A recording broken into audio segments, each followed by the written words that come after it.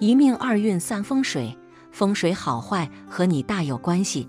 欢迎大家来到今天的小将之命理讲堂。今天小将之主要给大家讲讲，看手相之穷富。手上有这几种手相的人，早晚发大财。俗话说，一分钱难倒英雄汉。可见钱财与我们的生活至关重要，它是我们物质生活的基础，也是我们追求高品质生活不可或缺的助力。有的人出身富贵，天生不为钱财而烦恼；有的人凭借自身努力，最终也能富贵满盈，却也有人一生穷困潦倒。今日透天机手相来看一下，哪些人财运好、财富多？一手部多肉，手上肉骨均匀的人是福人之相，一生福厚，衣食自来，一生不曾劳累辛苦，气运自来便很强盛。这种人生活悠闲，无忧食禄，为大吉之相。二手中元宝纹，元宝纹是由两条或三条主线加其他的一些辅助线形成的。抽象元宝图形，金元文宝一般为上宽下窄，犹如梯形、船形或盆形。元宝形状越大，代表财产也就越多。如果四处封闭，四角不漏，属于很好的财库，代表着很强的聚财能力。生活中收入高，也很容易存着钱。真所谓古香书中所言：“元宝在手，车房尽有。”三手心存水。当我们摊开手掌的时候，掌心明堂之处明显低洼凹陷的人，一般都能发财发达，成为人中之龙。那么，真正的手心存水到底怎么看？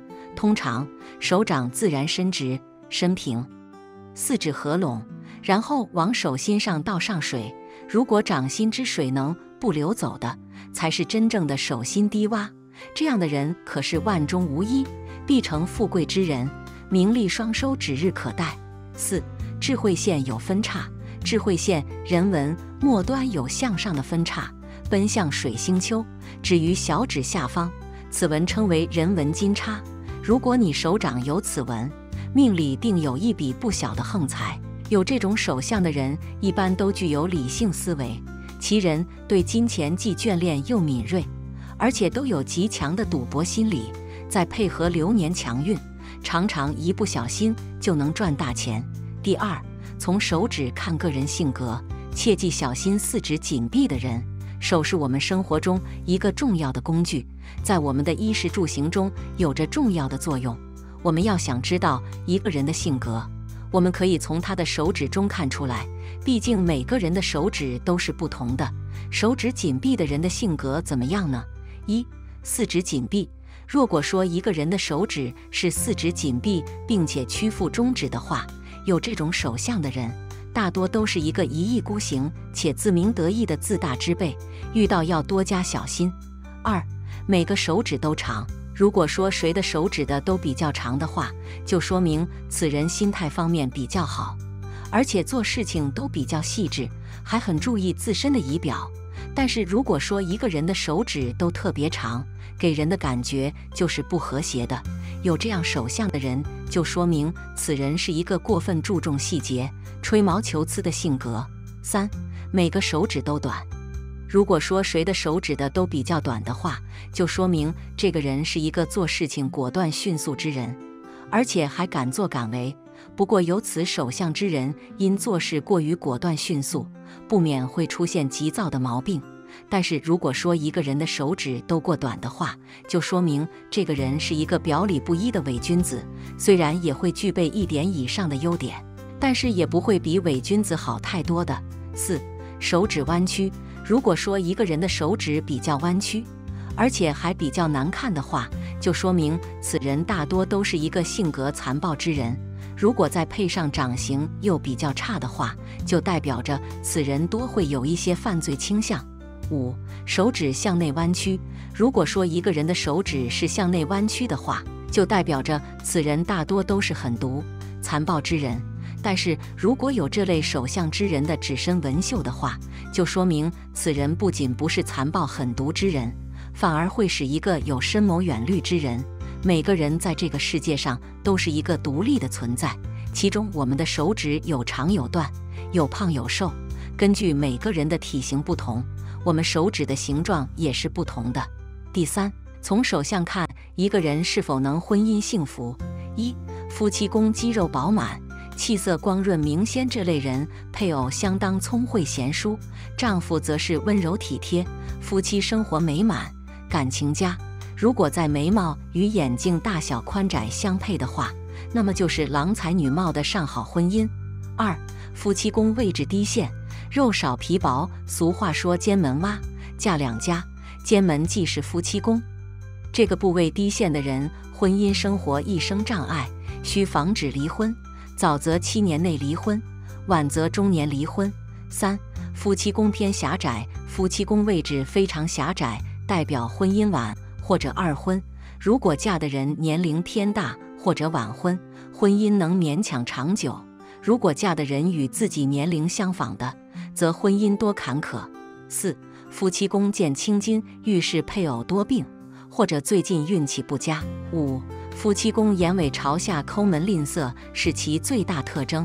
眼角比较朝下的面相，往往怨天尤人，专门看对方的短处，婚姻生活中难免出问题。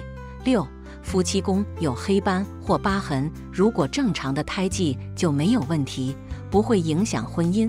如果是后天形成的色斑，就是婚姻不佳的标志，双方一吵架、出轨。七。夫妻宫肤色较黑，或者原来白后来变黑，情感不牢靠，导致婚姻不幸，结婚多次，或者甚至孤独终生。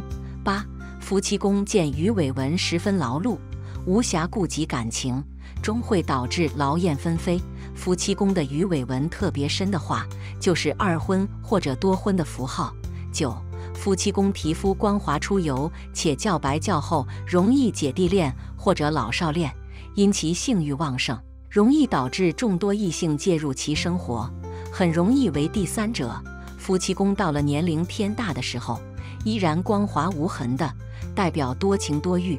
十、夫妻宫有十字纹，会用武力征服异性，而且凶狠无比，容易出现家暴、奸门破相，婚姻有始无终，遇事难以白头偕老。两个人之间投缘度，通过手相。就能看出吉凶。想知道你和他是佳偶天成，还是一对冤家吗？一、互相体贴的一对标准型的感情线，即深入食指与中指之间的感情线，算是标准型。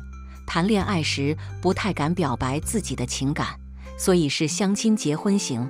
婚后会相互体贴，爱情弥深，至死不渝。如果智慧线下降，就更为圆满了。二能互补任性爱情的一对标准型与常常伸出的感情线，即感情线伸长到木星丘，表情爱深浓，意志坚定，不管谈恋爱或结婚，都喜欢以自我为本位，相当任性。婚后不久即想生儿子育女，这样的人若能配一个拥有标准感情线的对方，会自然产生容力，体贴对方，即使生活里碰到挫折。也能很快恢复如常。三、互补爱情的一对标准型的感情线与短感情线，终极大致说来，感情线停在土星丘的人较容易心焦气急，谈恋爱总以自我为本位，情感起伏相当大。拥有标准感情线的人，一旦结婚会很体贴对方，所以可弥补对方的任性，建立圆满家庭。如果男性的感情线短，可能会因不满对方，而在外拈花惹草。四虽有情但倔强的一对，长长的感情线，凶感情线愈长，表示情爱愈深，也有实行力。但如果对方不肯轻易让步，可能就起反感而意气用事。如果双方的感情线都长，会因不肯轻让而诉诸于暴力。但如果一方智慧线上升，一方下降，则意外的能情投意合。五个性相反却美满的一对，长长的感情线和短短的感情线，终极感情线如果伸到木星丘，表示处事积极，很能实践；若停在土星丘上，则表示感情不稳定，神经兮兮。互有以自我为本位又任性的地方，虽然偶尔也起争执，但利用情投意合来互补，情感的凝结力还是很强。六，无法维持长久的一对，短短的感情线。凶感情线若停在土星丘，大多以自我为本位，做什么事都是三分钟热度。所以你对他可能有好感，但他却是毫无反应。如果双方都有这一型的感情线，即使结合了，也很难维续长。七，个性都倔强的一对，断掌。凶感情线与智慧线合一，侧向略过，是典型的断掌，很有性格，也很执着，又有经济观念。不管怎么说，他都是拥有一技之长的人。他可能起两极端，胜了就为王，败了就为寇，甚至落得精神分裂。如果两个人都是断掌，就不能互相弥补了。八，适应独霸型对方的一对，断掌和标准型的感情线。即断掌的人大多身怀一技之长，经济上很能获得成功。他的爱情是单方面的，只要爱上对方，一定不择手段想得到，有点冷热无常。若想与这型人配合，当以个性温和、适应力强的标准型为佳。标准型的人最能弥补喜欢走极端的对方的缺点，就能化解对方顽固作风的一对断掌和长长的想情线。终极断掌的人头脑好，虽然顽固，却经济充裕，很可能在实业方面有大成就。只是他总喜欢把钱字挂在嘴边，贪得无厌。木星丘发达的感情线，多的是有行动又能领导的人，很能化解断掌者的顽固作风。十各行其事的一对断掌和短短的感情线，凶断掌，感情线短的人很不懂得忍耐，为人任性。说话老是不让理，怎能好好相处呢？只是断掌的人相当能干，常因不怕风险而在实业方面有所收获。虽然要忍一忍就可以和好相处，但问题是叫他们忍一口气，真比登天还难。